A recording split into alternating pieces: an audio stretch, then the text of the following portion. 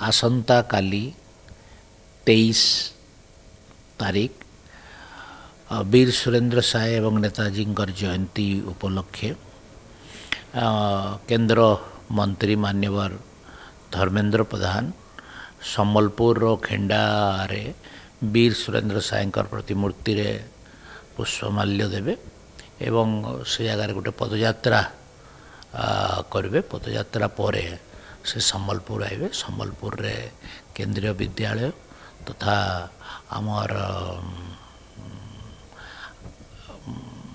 ଆମର I I M ତରଫରୁ ହେବାକୁ ଥିବା ପଶ୍ଚିମ ଓଡ଼ିଶାର ବିଶିଷ୍ଟ ଶହୀଦମାନଙ୍କର ଯେଉଁ ପ୍ରଦର୍ଶନୀ ଆମର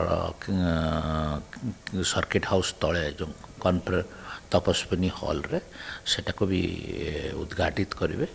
ଦୁଇ ବଜେରୁ ଲୋକଙ୍କର ସହିତ ସେ ଭେଟିବେ ଏମିତି ସବୁ କାର୍ଯ୍ୟକ୍ରମ ଅଛି। ସନ୍ଧ୍ୟାରେ ପରମାଣପୁରରେ ଥିବା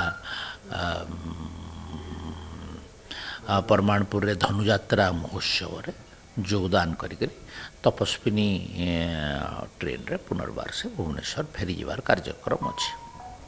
ଆଉ ଏ କାର୍ଯ୍ୟକ୍ରମକୁ ସଫଳ କରିବାର ଲାଗି ଜନସାଧାରଣକୁ ଆମେ ନିବେଦନ କରୁଛୁ।